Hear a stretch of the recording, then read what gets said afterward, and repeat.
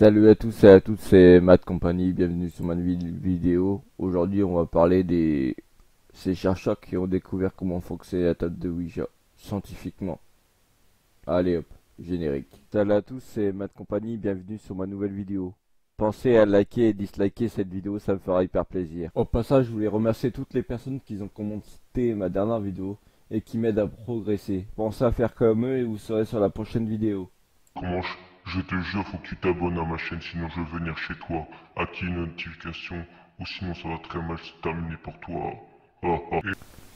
Alors, en fait, c'est des chercheurs qui ont découvert comment fonctionnait le Ouija scientifiquement. On a tous rêvé un jour de tenter d'entrer en communication avec des esprits, parfois de manière imposée.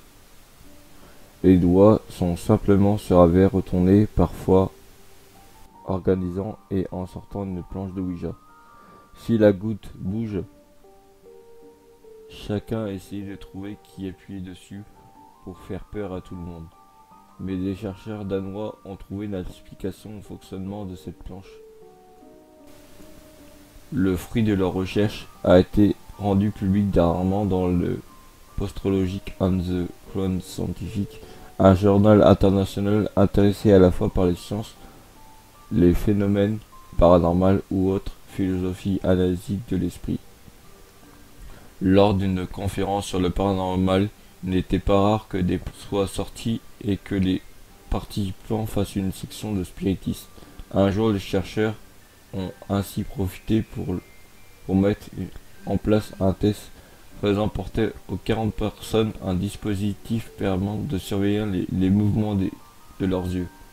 Mais il s'agissait d'une séance de, Ouija- traditionnelle, durant laquelle ils posaient des questions.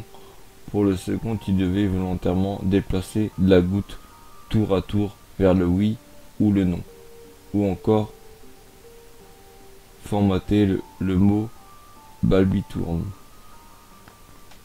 L'équipe a ensuite pu observer des résultats sur ceci. On dépasse tout ce qu'ils avaient imaginé et se sont rendus compte que lorsque les participants connaissaient le mot à l'avance, ils, regardaient constamment vers la lettre suivante.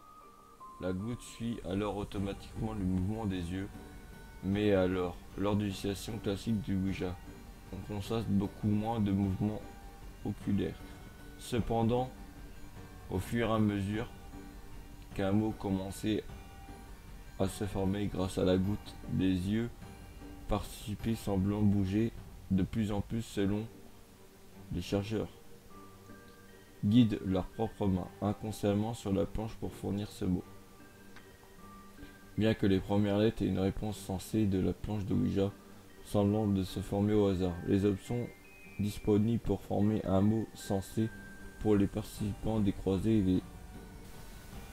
si bien que bientôt il facilite pour les deux participants de se prédire collectivement et construisent inconsciemment les réponses sur la planche de Ouija.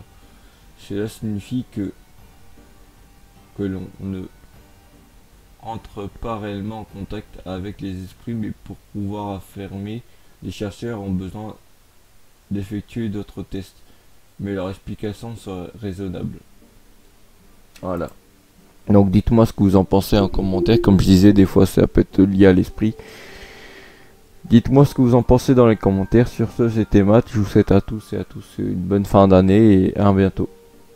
C'est fini pour ce tuto, n'oubliez pas de mettre un j'aime, partager ma vidéo sur les réseaux sociaux, ou de s'abonner à ma chaîne. Au revoir et à bientôt.